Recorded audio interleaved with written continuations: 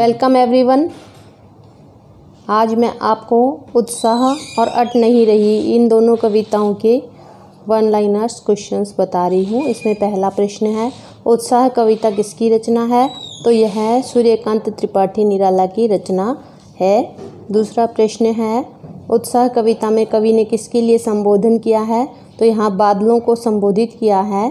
कवि बादलों से क्या संदेश देता है? वह संदेश देता है नए जीवन का। बादलों का स्वरूप किसके समान है? बादलों का स्वरूप जो है, सुंदर काले घुंघराले बालों के समान है। जैसे बाल घुंघराले होते हैं, उसी प्रकार से बादल भी घुंघराले उसे दिखाई दे रहे हैं। उत्साह कविता में अज्ञात दिशा से किसके आने की बात कही गई है? यहाँ पर अनंत के घन, अनंत के घन जो हैं, वो आ रहे हैं अज्ञात दिशा से। किसके कारण सारी धरती के लोग व्याकुल और बेचैन हैं? गर्मी के ताप के कारण सारी धरती के लोग व्याकुल और बेचैन हैं। बादलों के हृदय में किस प्रकार की शोभा छिपी हुई है बिजली की? कभी बादलों से बरसकर धरती को क्या प्रदान करने को कहता है? वह कहता है कि धरती को शीतलता प्रदान करें, यानी अगर बहुत गर्मी बढ़ गई है तो ठंडक प्रदान करें। विश्व के निदाग के सकल जन, यहाँ निदाग का क्या अर्थ है? निदाग का अर्थ है गर्मी। उत्साह कविता हिंदी साहित्य की किस काव्य धारा से संबंधित है?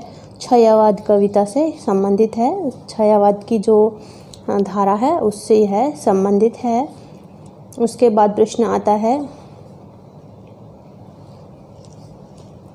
विश्व के निदाग के सकल जन। यहाँ सकल का क्या अर्थ है? सकल का अर्थ है सभी। बाल कल्पना किसे पाले में कौन से अलंकार का प्रयोग किया गया है? उपमा। जहाँ पर से शब्द आ जाता है, वहाँ पर उपमा अलंकार होता है। यानी किसी से जब तुलना करते हैं किसी वस्तु की तो वहाँ पर उपमा अलंकार होता है। अट नहीं रही है, यह कविता किसकी रचना है? यह कविता है सूर्यकांत त्रिपाठी निराला की रचना। अट नहीं रही कविता में किस महीने की मादकता का वर्णन किया है? फागुन की मादकता का वर्णन यहाँ पर किया गया है। कवि के प्रिय किसे अपनी श्वास से सुगंधित कर रहे हैं? प्रकृति को। कवि के मन को क्या प्रदान किया गया है? पंख। कहाँ पर शोभा और सौंदर्य भरा हुआ है? वन में। नई कोपलों में क्या छाया है? नई कोपलों में लाली छाई हुई है, यानी जो नए पत्ते होते हैं पेड़ के, वो रेड कलर के होते हैं तो यहाँ पर लाली छाई गई है। अट से क्या अभिप्राय है? अट होता है प्रविष्ट करना। घर घर भर देते हो, मैं कौन सा अलंकार है? अनुप्रास अलंकार यहाँ पर प्रयोग किया गया है। अट नहीं रही है कविता में, हटाने पर भी क्या नहीं हट रही है नज़र, यानी आँखें। पर पर कर देते हो मैं कौन सा अलंकार है? यमक। अट नहीं रही है कविता में, पाठ पाठ पर क्या बिखरी है? पाठ पाठ पर शोभा श्री बिखरी हुई है।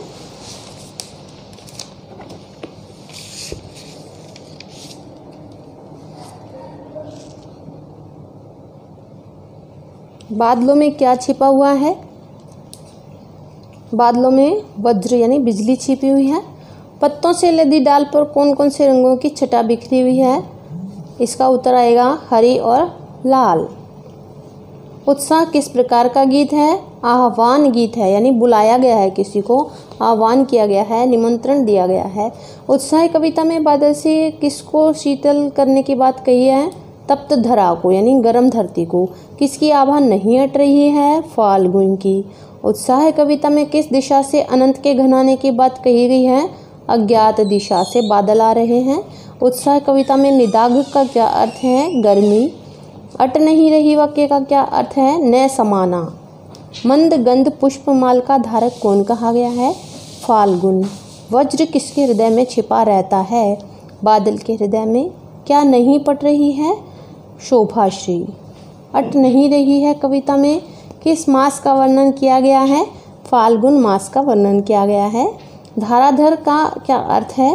धाराधर का अर्थ है बादल। अगर आपको इसी तरह के प्रश्नोत्तर किसी और भी चैप्टर के पढ़ने हैं तो उस चैप्टर का आप मुझे नेम बताना, क्योंकि नंबर से मुझे नहीं पता होता है तो आप मुझे उसका नाम बता दीजिएगा और मैं वो क्वेश्चन आपके लिए बना करके अपलोड करूँगी। और अगर आपने चैनल को सब्सक्राइब नहीं किया है तो चैनल को ज़रूर सब्सक्राइब कर लेना। साथ ही बेल बटन को भी प्रेस करना जिससे आपको सारे नोटिफिकेशंस मिल जाएँ।